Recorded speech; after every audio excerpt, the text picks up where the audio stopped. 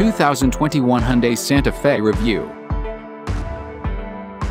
The Hyundai Santa Fe occupies an odd space between the compact and midsize SUV classes. It lands squarely between both segments in terms of price, size and feature availability. Essentially, it offers a bit more room than most compact crossovers, but it sits at a price point that makes it a little more palatable than buying a larger SUV. This gives the Santa Fe a strong value proposition. And the significantly updated 2021 mode L is even more enticing than its predecessor. The 2021 Hyundai Santa Fe is heavily refreshed. Starting with a new rectangular grille that's pinched on the outside and accented with vertically oriented lights. There's also a new T-shaped taillight design, with a horizontal light bar that connects the two taillights. Rounding out the list of interior improvements are a larger touchscreen and the move to transmission selector buttons, rather than a shifter. The Santa Fe is all new under the hood.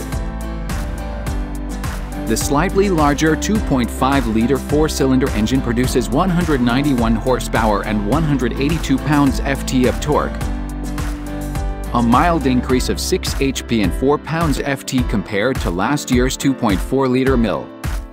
Fuel economy is up slightly as well. The EPA estimates a front-wheel drive 2021 Santa Fe with this engine will get 26 miles per gallon in combined driving, compared to 25 miles per gallon last year.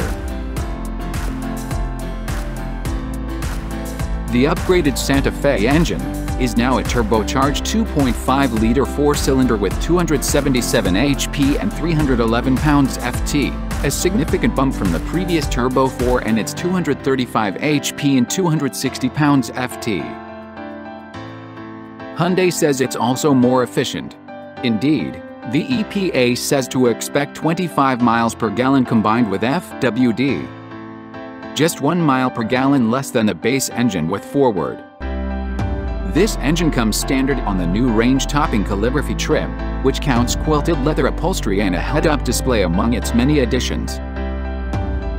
Also new for 2021 is a hybrid model. It has a turbocharged 1.6-liter engine and a hybrid system to produce 225 combined horsepower.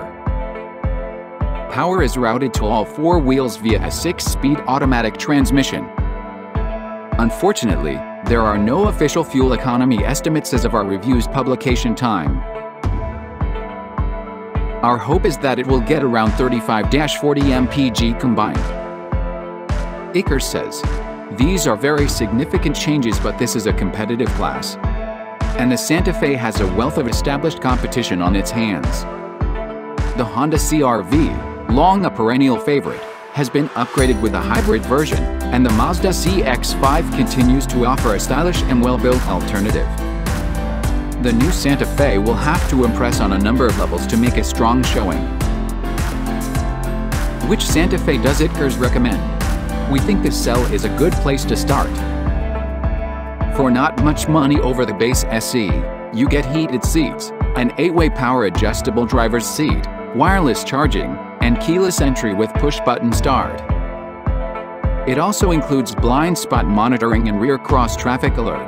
The SEL can also be bolstered by some fairly comprehensive option packages not available on the SC Hyundai Santa Fe models. The Hyundai Santa Fe is a five-passenger SUV available in four trim levels, SE, SEL, Limited and Calligraphy. On the SE, SEL and Limited trim, Front-wheel drive is standard and all-wheel drive is optional. The calligraphy comes standard with all-wheel drive.